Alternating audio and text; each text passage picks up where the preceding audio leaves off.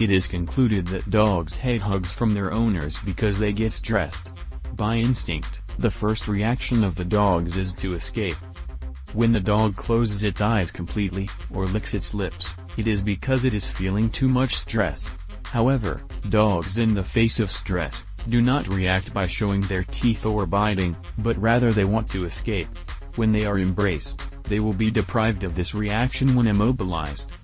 If the hug is long and intense, the anxiety of the dog can finally provoke a reaction as violent as biting.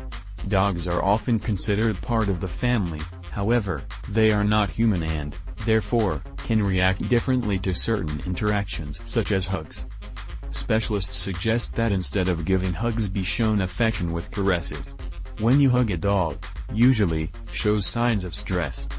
In this way, it is ensured that when the dog is embraced his personal space is invaded. A person who puts two arms around the neck of a dog can be interpreted as intimidating, and means that he cannot get away from the situation. We examined 250 images of dogs being embraced by their masters. As a result, 8 out of 10 animals looked uncomfortable, showed signs of stress like throwing their ears back, closing their eyes a little, turning their heads to avoid eye contact, yawning or lifting one of their legs as a sign of warning.